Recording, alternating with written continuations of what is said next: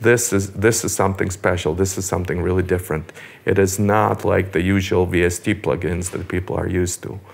Um, so we have created this thing, and this is great. And the first application was the way we have designed them was very similar to how people use them in real life. In the real life, you would have like a, a, rack in which you would put a compressor and a EQ, an amplifier, and then wire them together.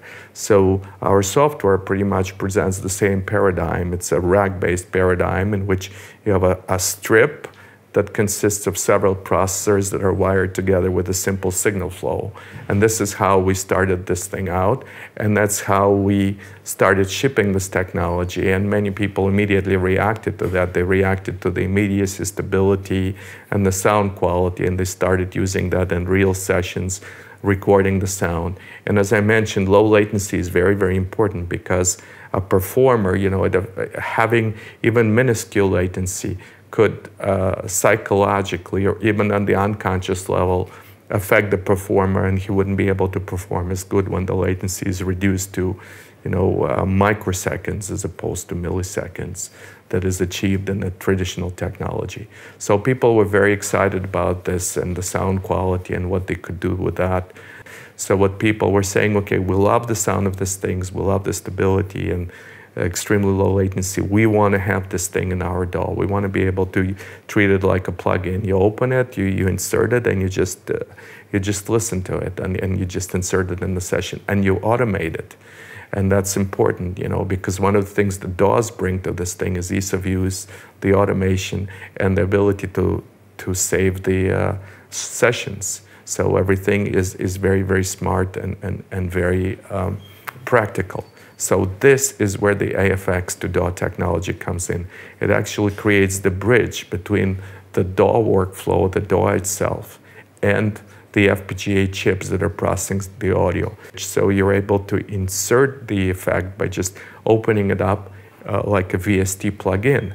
And we also have brought the uh, session saving information and the automation information back to the FPGA chip. So in this way, uh, the user of the DAW sees it as, as a typical software component. You just simply open it, you insert it, and you use it, you automate it.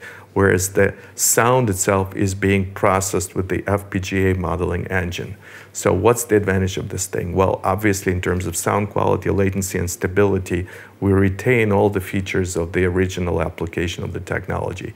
So now uh, we also talked about the ease of use advantages that come from that particular integration. Another super important thing is the CPU load.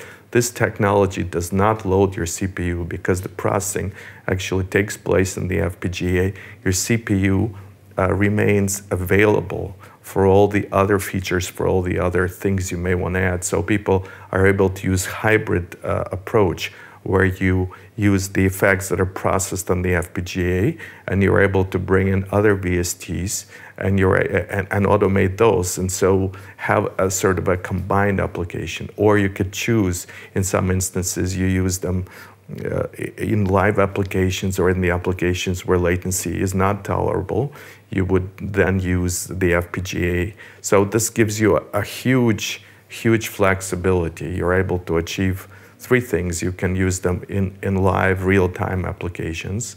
You can use them as um, uh, CPU load-free uh, accelerators. So you're able to actually run with lower latency that you would be in your DAW if you were using traditional uh, if, if, all the processing would rely on chains uh, and chains of VST effects, something that some of our uh, competitors, you know, they believe they, that there is no need for hardware-based acceleration, that they accomplish, they can accomplish the same thing purely from the low latency drivers and, and the uh, VST plugins. But the fact is, at this point, you know, one day I believe that may also become possible, but at this point in time, we're quite far away from that. With the modern operating systems, you still need the acceleration quality of the hardware. There has to be something that can maintain that low latency because if you do not maintain the low latency, then the whole system breaks down at some point.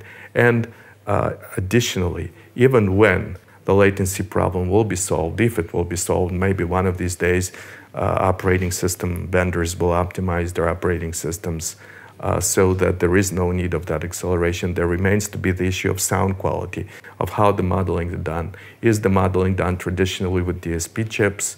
Uh, is the modeling done traditionally with software algorithms, or is it using hardware built and optimized models, which is something in FPGA? We believe that our models are unique and they are uniquely optimized to carefully recreate the sounds of the original analog equipment. So if and when uh, software vendors or operating system vendors ever resolve the stability and the latency issue, we believe that our approach remains viable and will remain viable for many, many years, if not decades to come.